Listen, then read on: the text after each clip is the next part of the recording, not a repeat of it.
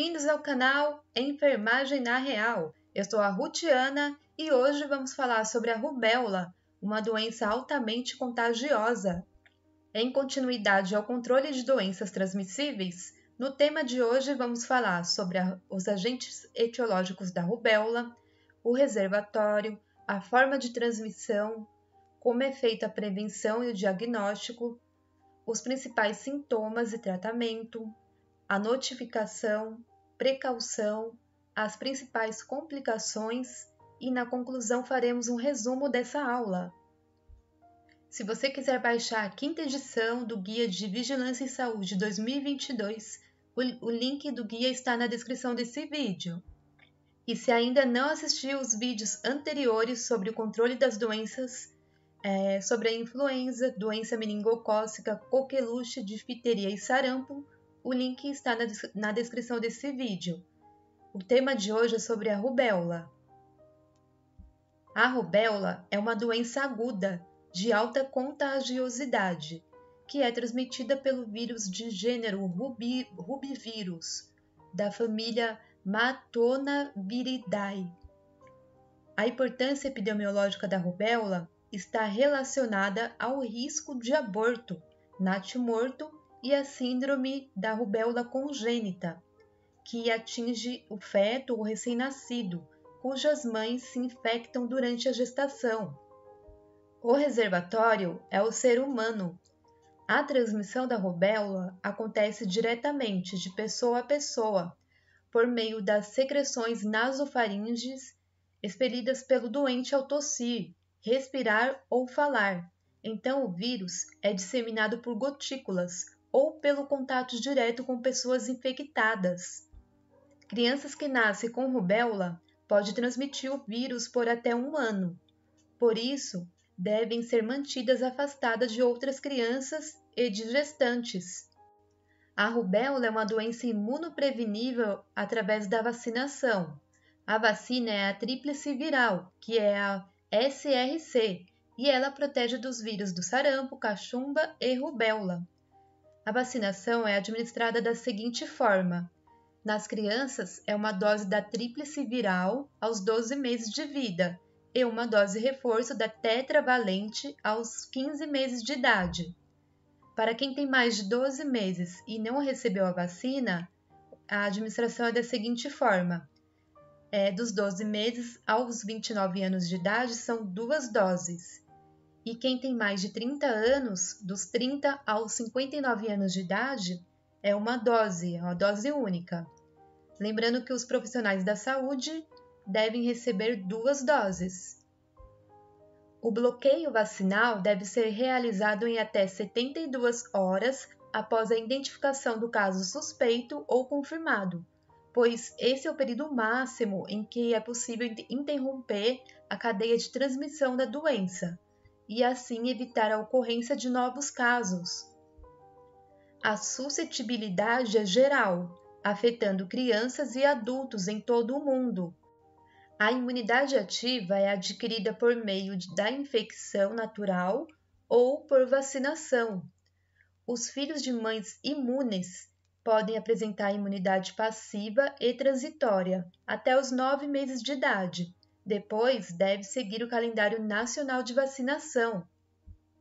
O diagnóstico é realizado com avaliação clínica dos sinais e sintomas, além de exames laboratoriais, como a sorologia ou RT-PCR, específicos, para confirmação ou descarte de casos, Assim, é possível a detecção de anticorpos específicos, IgM e IgG, da rubéola. Existem muitas doenças que se manifestam semelhantes à rubéola, por exemplo, o sarampo, dengue, eritema infeccioso, por isso é importante a realização dos exames laboratoriais. Os principais sintomas da rubéola são febre baixa, Exantemas, que são as manchas avermelhadas, iniciam no rosto e depois se espalham para todo o corpo, também conhecidas como rush, além de coriza, cefaleia, mal-estar, olhos vermelhos, dor ao engolir e mal-estar geral, principalmente dores nas articulações e músculos. além de gânglios aumentados. Não há tratamento específicos para a rubéola, mas sim, para promover o alívio dos sintomas, pode ser indicado o uso de analgésicos e antitérmicos com prescrição médica, além de repouso e hidratação, para que a pessoa se recupere mais rápido. É importante também que fique isolada para assim evitar a transmissão da doença para outras pessoas. E a rubéola é uma doença de notificação compulsória imediata. Todos os casos suspeitos de rubéola devem ser notificados imediatamente ao Ministério da Saúde e à Secretaria Municipal de Saúde. Esse é o modelo para fazer a notificação da rubéola congênita, ou seja, para os recém-nascidos cuja mãe foi caso suspeito, confirmado ou em contato com casos confirmados de rubéola. Todo caso suspeito de rubéola deve ser investigado em até 48 horas. Além disso, deve ser considerar a possibilidade de, de detecção de novos casos.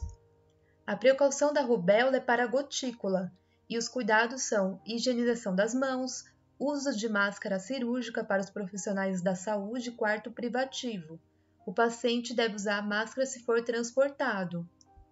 As principais complicações podem surgir na rubéola congênita e durante a gestação. A síndrome da rubéola congênita atinge o feto ou o recém-nascido cujas mães se infectaram durante a gestação. A infecção na gravidez acarreta inúmeras complicações para a mãe, por exemplo, aborto e natimorto, e malformações congênitas na criança, como os casos de surdez, é, problemas cardíacos, lesões oculares e outras. Resumindo então, a rubéola é uma doença aguda, altamente contagiosa, que é transmitida pelo vírus do gênero rubivírus, a rubéola está relacionada ao risco de aborto, natimorto e à síndrome da rubéola congênita, que atinge o feto ou o recém-nascido, cujas mães se infectaram durante a gestação. O reservatório é o ser humano. A transmissão da rubéola acontece diretamente de pessoa a pessoa, por meio das secreções nasofaringes, expelida pelo doente ao tossir, respirar ou falar, então, o vírus é disseminado por gotículas ou pelo contato direto com pessoas infectadas. Lembrando que crianças que nascem com rubéola pode transmitir o vírus por até um ano. Por isso, devem ser mantidas afastadas de outras crianças e de gestantes. O período de incubação é de 12 a 23 dias. Já o período de transmissibilidade é de 7 dias antes a sete dias após o início do exantema. A prevenção é através da vacinação, com a tríplice viral e tetravalente, de acordo com o calendário nacional de vacinação. O diagnóstico é clínico e laboratorial. Os principais sintomas são febre baixa, exantema, que é conhecido também como rush, coriza, cefaleia, mal-estar e gânglios aumentados.